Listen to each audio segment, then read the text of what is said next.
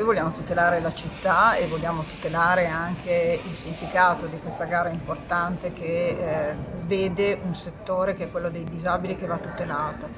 Anche queste ultime iniziative che confliggono con quello che poi è la prova documentale che sta emergendo adesso non fa bene alla città perché comunque si stanno innescando non solo ulteriori polemiche ma anche delle possibili azioni contro lo stesso comune. Oggi è arrivata una diffida, eh, insomma io penso che dovrebbe essere affrontato eh, seriamente questo tipo di problema. Si è creato, ci sono delle responsabilità, non si rifugge dalla responsabilità, la si affronta, si parla eh, con correttezza di quello che è accaduto e poi da lì si cerca soprattutto di dare dignità ad una vicenda che sta veramente scadendo.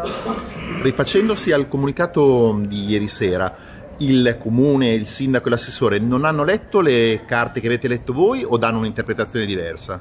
Io penso che non siano state lette perché a questo punto sono talmente evidenti le responsabilità sugli incartamenti che vengono offerti dallo stesso comune che voglio dire ci si chiede addirittura eh, se ci sia anche coerenza tra quello che è stato dichiarato all'interno di un consiglio. Lunedì eh, in consiglio è stata data una versione, no? è stata data la versione che comunque vedeva un assessore da dati che ha assunto questa responsabilità, oggi vediamo invece il sindaco che dice è colpa dell'organizzazione organizzatore, ma insomma c'è qualcosa che non funziona, ma le carte sono di facile comprensione. Allora, o è successo qualcosa che non è ancora noto, ma che non traspare dalla documentazione, ma allora diciamolo, o altrimenti è inutile che andiamo avanti a colpi di eh, comunicati peraltro slegati da qualsivoglia prova rispetto a quello che sostengono gli organizzatori. Gli organizzatori hanno fatto vedere quelli che erano gli accordi, quelli che erano i verbali, quelli che erano i contratti